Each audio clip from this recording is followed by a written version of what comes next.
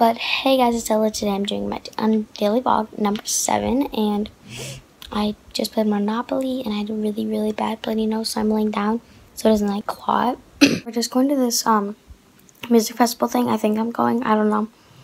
I just took a shower, and now I'm eating a, a little bit. This vlog's just probably gonna be like updates and stuff because I don't really have anything to vlog. So in like five minutes, we're leaving to go to the music festival, and I'll try to record some. I don't really know what I'm gonna do yet. You guys are making fun of me. Oh, is this where? Look Um, we're going to the place right now I'm the with vlog. her and her. I'm the cat scratch street. the Harry Potter. short and boring vlog, but this is the end of the vlog.